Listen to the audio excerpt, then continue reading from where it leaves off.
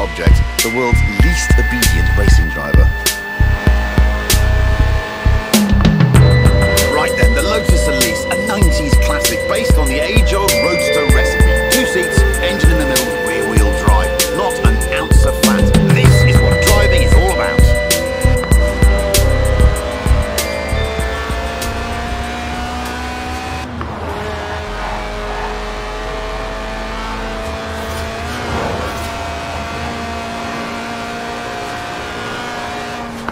this isn't just any Elise, it's a Sport 190, a tuned up, stripped out Elise for track days.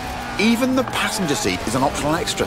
But who needs friends anyway? Friends are expensive and heavy. You've got it! The trick with drifting is to not actually spin, but to almost spin for as long as possible. It weighs well under 700 kilos and makes 190 horsepower from its 1.8 litre engine, which revs to 8,000 RPM. Just listen to that.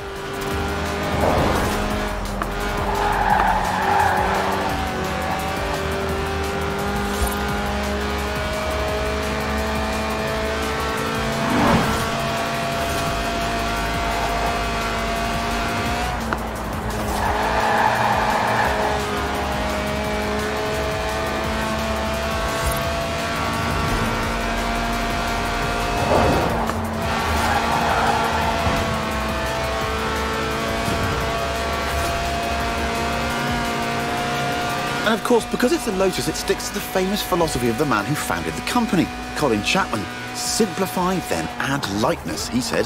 The Sport 190 also adds a full roll cage, just in case.